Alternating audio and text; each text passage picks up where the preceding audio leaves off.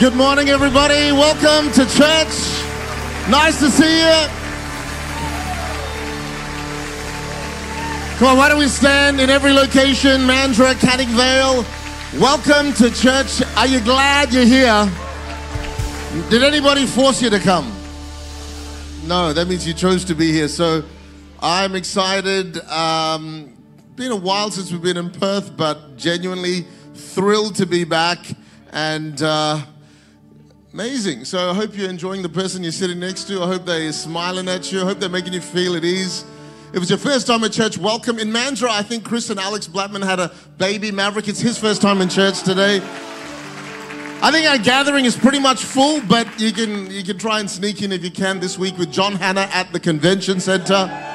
Um, but if you, you can't get to gathering or it's too late or it's full, Thursday night we have presence night and it's going to be incredible. So I invite you to come out to that. And I think, I believe on Sunday the trains are free. The things they do for us. So 10 a.m., 5 p.m. at the convention center. Don't come to your location. We're all gathering together. So amazing. Everyone happy? It's great to have my fr- great friend and the founder of this building here in Wangara, Pastor Neil Smith. He's here today. I just saw him with his mum. And uh, to everyone in Canning Vale and Mandurah, Pastor Neil was the man who actually took a risk on me in ministry first. And when I was a shy keyboard player like that guy over there, he took a risk and uh, risks, that one sort of turned out relatively well. But, you know, it takes a leader, it takes a person with vision to see that.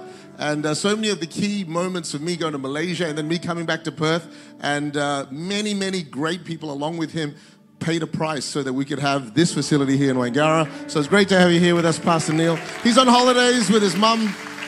Probably didn't want me to do any of that, but just I'm looking around who else I can embarrass. Great to have Chris Ham here. He works here, he had no choice.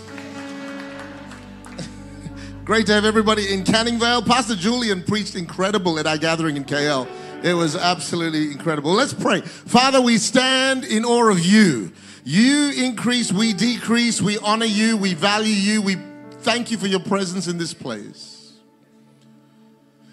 Thank you, God, that no one is excluded, everyone is included. No one is so bad they can't access you, no one is so good they don't need you. So, Father, today, let every heart be good soil.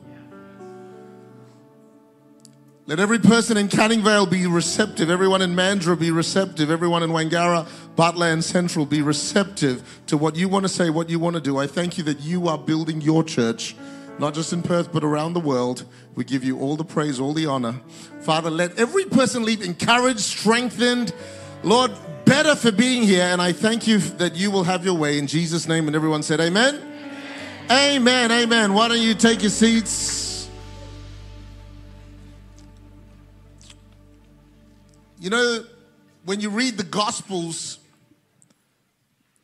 the disciples had front row access to the greatest ministry ever. And in three and a half years, they watched the dead rise. They watched the Pharisees silenced. They saw bodies change. They saw food multiply. They saw teaching. They heard application like they'd never heard in their life. And yet, the one record in scripture of the one thing they wanted to learn was, Lord, teach us how you pray. They didn't say, Lord, teach us how you teach. Wasn't Lord, teach us how to win the arguments with the Pharisees and the politics. Wasn't even teach us how to heal the sick or cast out demons or raise the dead. That came with it.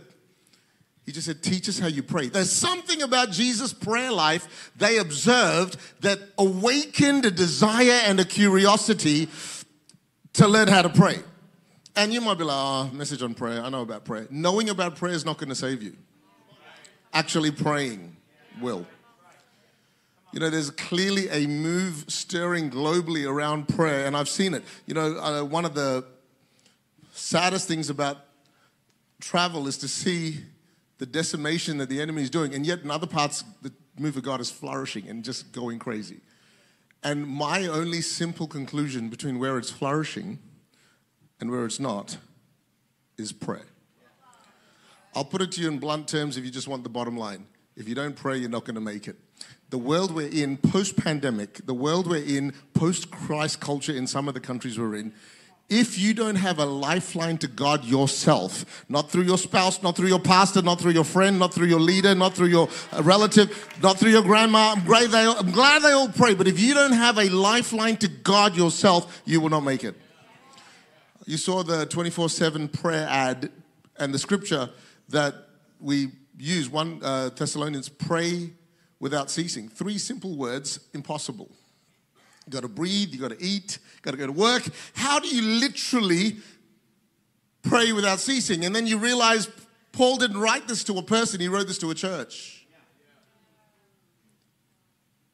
It's not possible for a human to pray without ceasing because you live, but it's possible for a church. He wrote some letters to people, Titus, Philemon, but he wrote this to the church of Thessalonica. And what is possible if a church decides to pray without ceasing? And yeah, this 24 7 thing has started. We're just launching it. Um, there's over 3,000 people already signed up to pray one hour. There's only 168 hours in a week. But if you haven't, you're like, how do I do that? It's so easy, even I did it. Without the assistance of Jemima or technology, I didn't even need a PA to help me. I did it myself. You know, some of you may recall in 2012, if you're around 2013, we launched a 24 7 prayer initiative back then. Back then, our church was about between Perth and KL, about 3,000 people, roughly, 3,500. And we had two locations. Now, a decade on, there's a tenfold increase. Our church is tenfold in terms of the locations, the countries, the, lo- the, so there is no reason as the waters cover the sea, prayer can't cover the globe. And now with the people in London and Africa and Dubai and the subcontinent and Mexico, they can pray in those awkward hours that we like 2, 2 a.m. I like to sleep, 4 a.m. I still like to sleep, 6 a.m maybe I should be getting up, but there's something exciting and emerging. This weekend, we got John Hanna. That guy started a prayer movement in Chicago, and I'm telling you, you just get in the room, something will shake inside of you because this is not a fad or a season. Jesus said, My house shall be called a house of prayer. And when he said that, he wasn't saying it because he wanted pious people. People are just going, oh, wow, my church is a very praying church. What a devout group of people. He's not asking us to be a house of prayer for the religious look. He's asking us to pray because prayer actually works. Prayer is actually powerful. Prayer actually changes things. Prayer, in its simplest form, is access. It's access. You know, my sons have access to our house, my sons have access to the fridge. If they ever die of starvation, it's self inflicted because they have access. In the same way, you and I have access to God. And let me put it, you might understand that, but let me, uh, let me waken your thoughts around how really powerful that is. Here's what prayer does it displaces anxiety with peace. The amount of anxious worry, fear, paranoia that's going on in the world is understandable, but not for a Christian. It's not. It really isn't. Listen to Philippians 4, 6, and 7. Do not be anxious about anything, but in everything. By prayer and supplication with thanksgiving, make your requests known to God, and the peace, the peace, the peace, everyone say peace. The peace of God, which surpasses all understanding, guards your heart and minds. So instead of anxiety, prayer displaces it with peace. Prayer displaces weakness with strength. You know the verse in Isaiah 40 they that wait upon the Lord, he gives power to the weak, and to those who have no might, he increases strength. Even the youth shall faint and grow weary, young men shall utterly fall. But they who wait upon the Lord, they that focus on the Lord, they that pray shall renew their strength, they shall mount up with wings like eagles. Think about it. If you're a believer, strength and peace is your inheritance, but it's accessed through prayer. So if you're living season after season, weak and anxious, like the starvation issue with my sons, it's self inflicted to a degree. A Christian who's living with anxiety and weakness to some degree is not accessing the very thing God has made available. And prayer isn't a gift, it's not a responsibility for some, it isn't a department in the church, it is genuinely the privilege and responsibility of every believer. You don't need a cuddle, you need a prayer life. You don't need a therapist, you need a prayer life. You can have a cuddle and a therapist, I'm all for that, but get a prayer life and say, God, awaken in me the divine access you've given me privilege to. So, in case you haven't worked out, I'm pretty passionate about prayer at the moment. And it's not just so we sign up for an app, it's so that we actually pray. Because I've just seen the effects, and some of you watched stuff, what's happened in the news and social media. Don't believe everything you read. But nonetheless, there's clearly a shaking happening, and only prayer is the thing that will hold you. And if you're like, well, I've lived most of my life, and it's just mean my wife has been praying, my mom, that's okay. God has been kind to you, and you made it this far. But make a decision today I'm going to be a person of prayer, a man of prayer, a woman of prayer, a grandparent who prays, a, a student who prays. Let me, let me just help because I realize we have a spectrum of people here. People are so passionate and right there, and then people are brand new going, Pray, I wouldn't know what to say. Let, let me start by debunking some of the myths around prayer, and let me just give you some ideas around what forms of prayer look like. Number one, prayer is conversation, it's conversation with God. I don't know if you've ever talked to someone and conversation was a one way street. That relationship generally doesn't last that long. No nudging, just look straight ahead. Jesus even said, Do not use vain repetitions as the heathen do, for they think they'll be heard for their many words. Do, don't be like them. You know, conversation is two ways. So you get to talk to God, you get to hear Him. 1 John 5 14 says this This is the confidence we have in approaching God that if we ask anything according to His will, He hears us. Sometimes you think you're talking to the wall, you're talking to the air, you're talking to what. When you speak to the Lord, He hears us. And you know, sometimes in this prayer, rise and move, it can get all a little complicated, a little spiritual. But I want to tell you, he hears the tax collector in the temple. He hears the thief on the cross. He hears the prayer of a child. You don't have to be sophisticated, educated, deep, understand Hebrew, Greek, and Latin, just talk to God. If a thief dying on the cross could utter some words with his last breath and receive eternal life, if the tax collector, unlike the Pharisee, literally didn't barely raised his head and said, Father, sometimes we can over spiritualize, and yet God says, I hear the prayer of anybody who would call upon me. So I want to encourage you start there. Start with conversation. Start by talking to God. This is why forgiveness matters. God says, if you want to talk to me, make sure you resolve all your issues with everyone else. Have you ever talked to someone you got issues with them? You're like, but I don't have issues with you, I have issues with them. The problem is they're all his kids. You hate my kids and you want to talk to me, it's going to be an awkward conversation. That's why he said forgiveness matters, because prayer is, com- is, is relational. Prayer is actually me talking to God and God talking to me. It's, it's not just relational, it's a declaration. Prayer is also a conversation. See, if you're like, what do I pray for an hour? If I sign up for this hour thing, what am I going to say? You're right, because some of us are not big talkers. I mean, come in from work, hi, hi, hon, how are you? Good. How's the day? Good. Yeah, great. Conversation finished. Summary done. You're like, if I talk to God about conversation, I'm not going to talk for an hour. Because I'm a male, and so is he. I don't want to get any emails about the theology of, write them to Mervyn if you want. So there is more than just conversation. There's a thing called declaration. Read Mark 11, 20 to through 24. This is what it says. In the morning, as they went along, they saw the fig tree, the disciples, withered from the roots. Peter remembered and said to Jesus, Rabbi, look, the fig tree you cursed has withered. Jesus was hungry. The tree didn't have fruit. Jesus said, May you never bear fruit again. And the tree died. The next day they walking past and they found the observation. And this is Jesus turning his temporary anger moment into a teaching moment. Verse 22 Have faith in God. Jesus answered, Truly I tell you, if anyone says to this mountain, Go throw yourself into the sea, and does not doubt in their heart, but believes that what they say will happen, it will be done for them. Therefore, I tell you, whatever you ask for in prayer. So, what did Jesus call prayer? Us speaking to mountains. That's not a conversation with God, that's us a conversation with a mountain. I don't know when you remember when you had young kids or when you were young or you still play with young kids. I used to do this, probably not good parenting, but like if one of the kids would hit their head on the table, I'd hold them to soothe their tears, I'd, I'd smack the table. Naughty table. And it somehow seemed to make the kid feel better. And the kids like, yeah, naughty table, naughty chair. And, and it just was awesome. But you're like, oh, that's so cute as a child. And then here we come, Jesus tells us to speak to the mountain. Naughty mountain. naughty fear. Naughty anxiety. Naughty depression. Naughty sickness.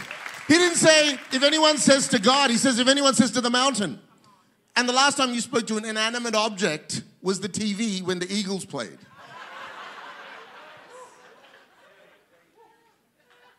Didn't change a thing. So you're like, what does this verse do?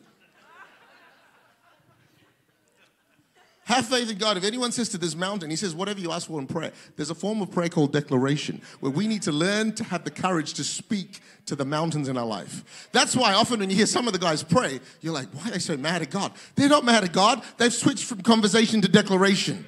When you hear my wife pray, you think, oh no, what is going on? She's not yelling at God. Tip, don't yell at God, he's fine.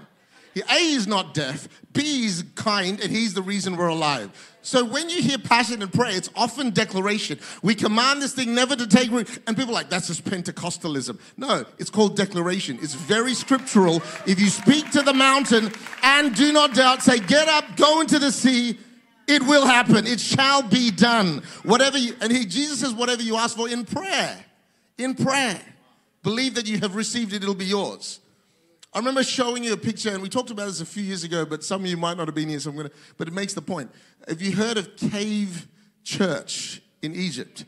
And I think we spoke to the guys from the, um, forgot their names, Persecuted Church. And what a stunning story. And the story of how Cave Church appeared was centuries ago, and the story was uh, corroborated, and I, I recently spoke to him again and said, Can I have a bit more substance around it? And the, the, it is compelling. Terrorists captured some Christians and was about to execute them, and to mock them on the way to execution, said, We're going to drag your torture out by night, essentially. Apparently, your God moves mountains.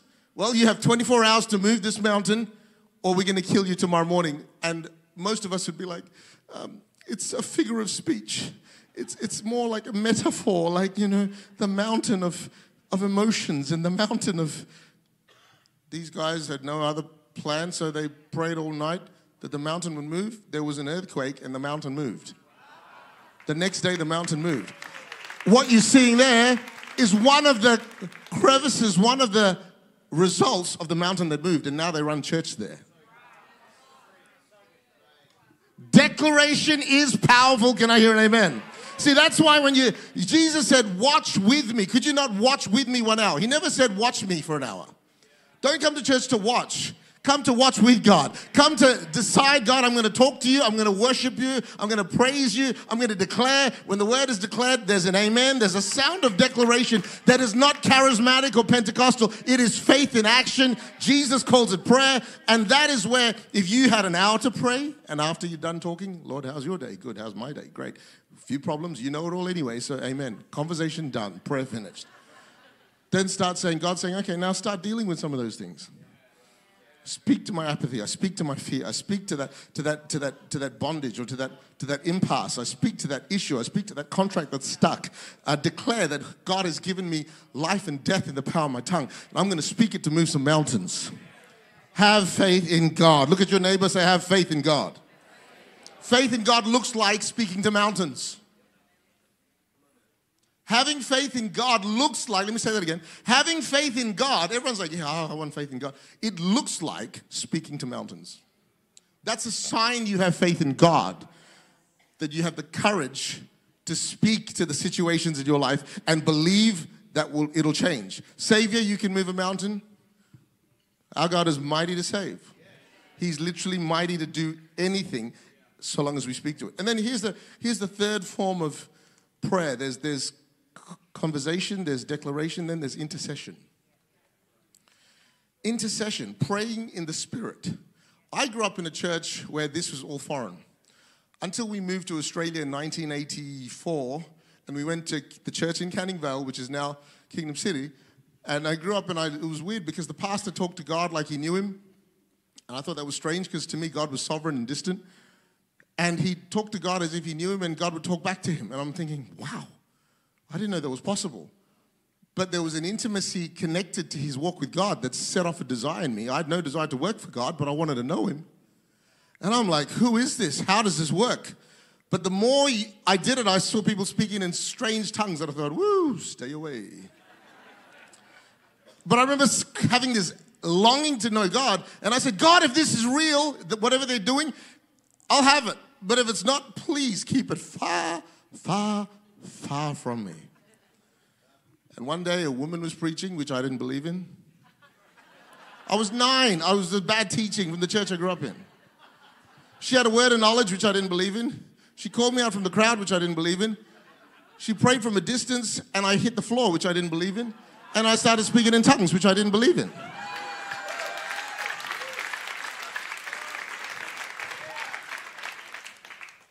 How many realized my belief structure needed some old shifting? How many are glad that God doesn't look at your beliefs and make them the parameter of your faith? Intercession. Everyone say intercession. Now, this sounds a little scary and this sounds like something that only old grandmas should do. Pay attention. Ephesians 6:18. Praying always with all prayer and supplication. Everyone say in the spirit. Come on, Canning Vale, say in the spirit. Thank you for your support. Being watchful to this end with all perseverance and supplication for all the saints, praying in the Spirit. 1 Corinthians 14 2 For anyone who speaks in a tongue does not speak to people but to God. See, this is one of my issues with the speaking in tongues business. I'm like, it sounds like gibberish and it makes no sense to me. They're not talking to me, they're not talking to you. When they're speaking in another unknown tongue, they're speaking to God. And people like, I just want God to come and just move my mouth. Here, that's called possession. Demons do that. God doesn't possess you. He partners with you. He'll use you. So you got to open your mouth and say, Father. But see, it takes humility to pray in tongues. It takes humility to speak to tables. Prayer with pride doesn't work. So you know, I'm going to let go of our fears and our warped beliefs and say, Father, all I know is I want to be a person of prayer.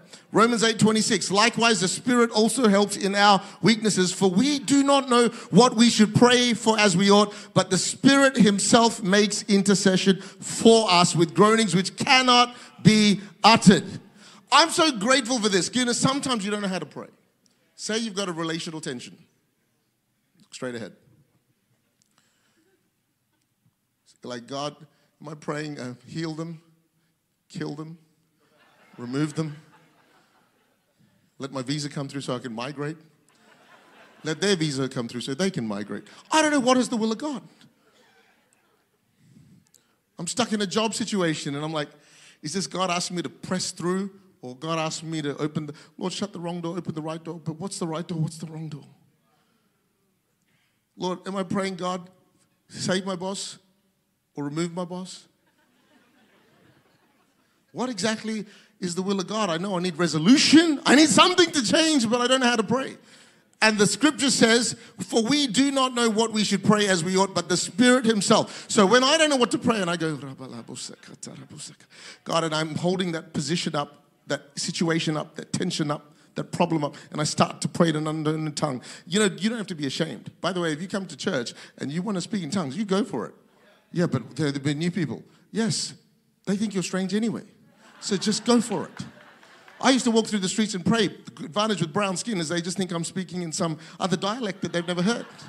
They're correct. I'm speaking in another dialect they've never heard. But I tell you, an hour of prayer, there's only so long I can yell at the mountain. There's only so many conversations I can have with the Lord. Lord, how many times can you say, Father, help Manchester United get better? You can only say that for about five minutes. Lord, you don't care about the Eagles, so can you care about and, and, then, and then I start to go, I need to start praying about something serious. And I start praying. I'm praying into gathering. I don't know what to pray. Am I praying God? So I start praying in tongues. You know, this, is, this will fascinate some of you. There's a medical doctor called Carl Peterson who did scientific tests on the effect of praying in tongues on the brain and the immune system. And they found that those who prayed in tongues consistently, and that's the key, not one sentence or one little thing here and there, consistently, they found their immune system was boosted between 35 and 40%. The brain releases two chemical secretions that are directed into the immune system. It's the hypothalamus. Or the hyper, yeah, whatever that is. So you say that 10 times, you'll be speaking in tongues. I'm not a medical doctor, but before I heard about that scientific research, I believe Jude verse 20 that if we were to build ourselves up in our most holy faith, we could do that by learning to pray in the Holy Spirit. So I want you to let go. Listen, I came from other backgrounds. I came from backgrounds that would make Anglicans look like Pentecostals. So it didn't matter what your banner or your badge is. Just want God. Just go, I need to know God. Just go, I want to be a person of prayer. And I want to encourage you, Let's make intercession a part of it. And if it's never been part of your journey, start today. Start today. And um, as we wrap this, as we land this, I want to talk quickly about, I guess, what's going to shift you in your stages of prayer. Prayer starts with a decision. Some of us don't wait for today. Oh, if I start shaking in my seat, that means God's telling me to pray.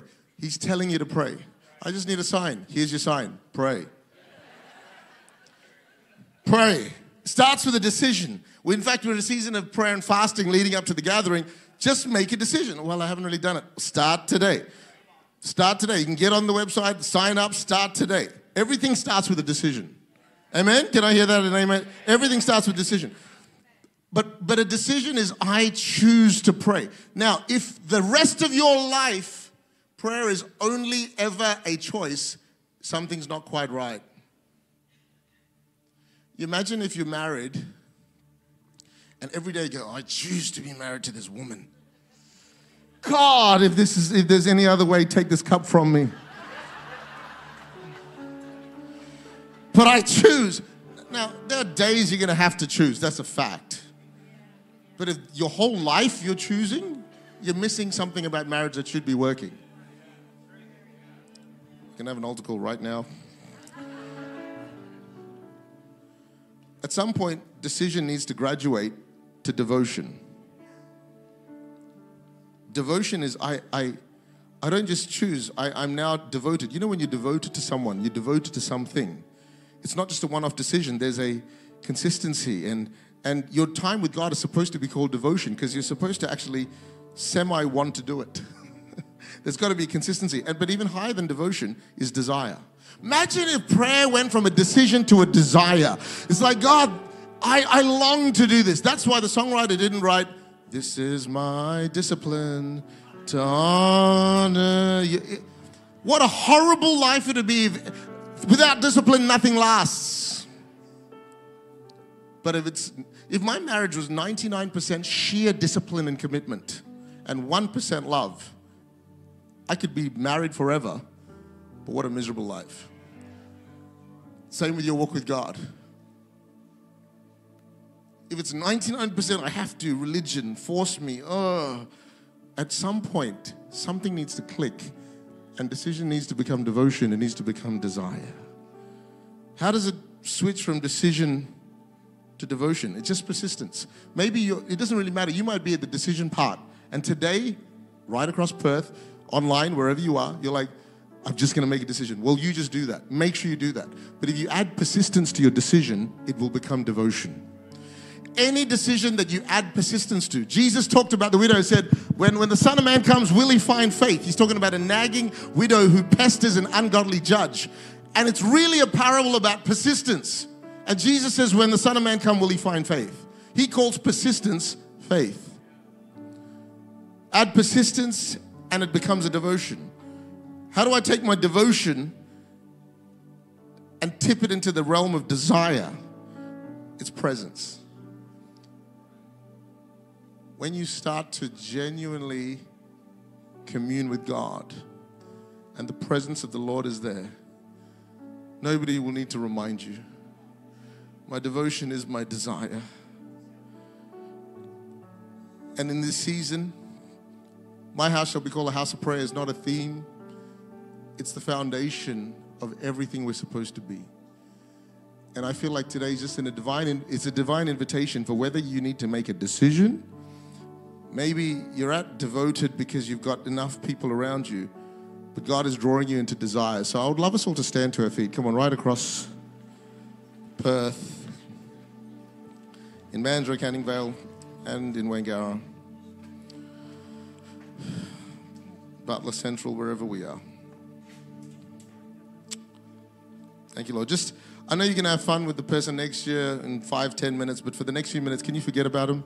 Just ignore the person on your left and right and focus on Jesus. Maybe you don't know Jesus. In a few minutes, in every location, you're going to get your chance. But the presence of the Lord is here because He's real. And where He's honored, He is. And maybe you, like, I'm just at the early point. Well, I want to tell you there's nothing like the taste of His presence that will catapult your journey. You know, here's what I want to pray that anxiety, fear, worry, the lies of the devil, that you can't do this, it's not who you are, it's for someone else. I, I pray that drops off like wax in fire today. So I want you, if there's something in you saying, God, I want you to take my prayer life to the next level, I just want you to lift your hands towards heaven in a humble, surrendered way. Come on, in a humble, surrendered way. Say, Father, I want to go deeper. I want to go deeper. I want to go deeper with you, Lord. I want to go deeper with you. And you know, I want to encourage you right now that the Lord will encounter every man, woman, young, old. You might not even be a believer, but God will encounter you if you would say, God, I'm hungry, I'm open, I just want to know, I want to grow. And so, right now, cross Perth, why don't we lift our hands? In every auditorium from the front to the back, from the left to the right, because we value His presence. We, we, we honor His presence. We worship Him.